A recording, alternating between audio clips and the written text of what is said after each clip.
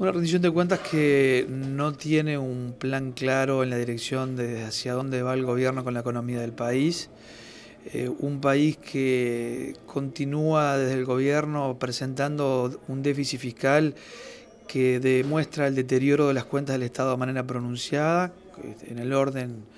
del 3,5%, donde el escenario para las inversiones y para la creación de fuentes de trabajo genera una enorme incertidumbre basado en la carestía de los servicios públicos, fundamentalmente las tarifas.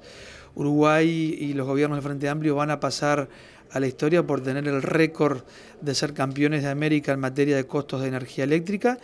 eh, energía para la industria, que es básico para producir la instalación de industrias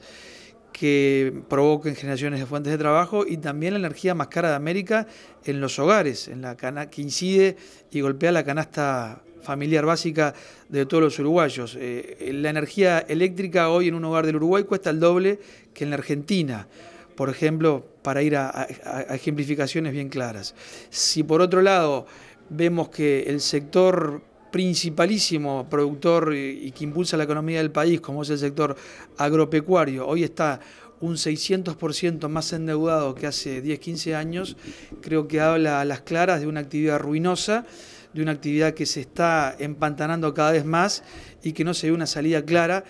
eh, en lo que debería de estar haciendo el gobierno, que es justamente trazar planes lógicos, serios, sentarse con la producción nacional, escuchar los reclamos tanto del sector agropecuario, agrícola como el ganadero, para partir de allí estar pensando en lo que debe ser la reactivación del país mismo como motor de la economía.